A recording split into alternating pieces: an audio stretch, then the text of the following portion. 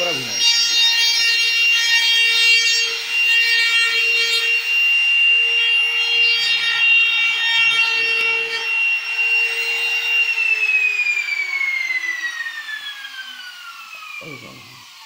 और साफ़ अच्छे तरीके से करवा दो।